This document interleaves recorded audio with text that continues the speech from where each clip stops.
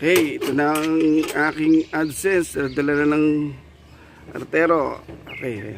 Ako wala ka mamaya pa. Ayan na siya, ayan na siya. Dinideliver pang iba. Antayin ko lang. Ano masasabi nyo?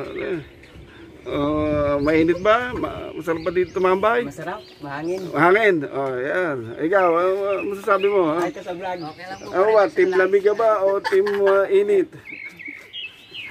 Ayan, naantay namin yung ano eh, yan, yung kartero. Ayun, dala-dala yung AdSense. Sabi niya, dala niya na eh.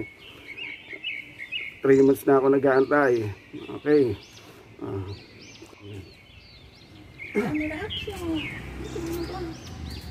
Yan. Dali, dali. Okay.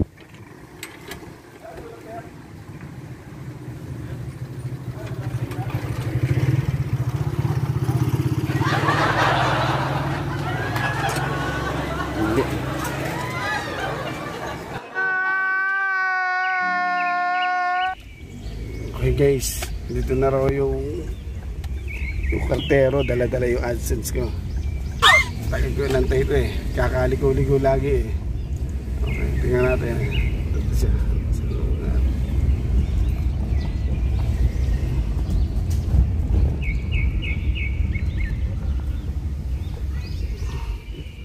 Okay.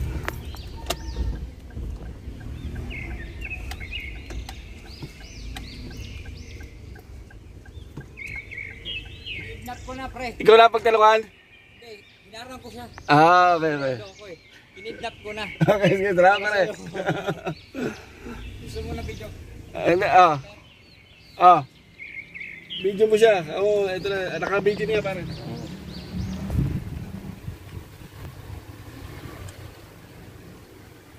Sir. Ano pa ako, deliver? Oo. Ayun yun. Yuhuu! Oh, oh. Legit pa. okay.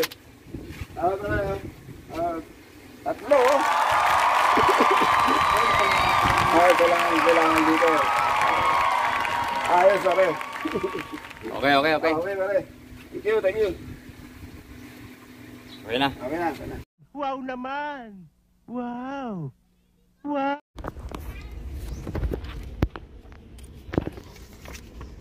Yahoo! Ito na guys, oras. Ah, dumating na. Tatlo pa dumating, ha?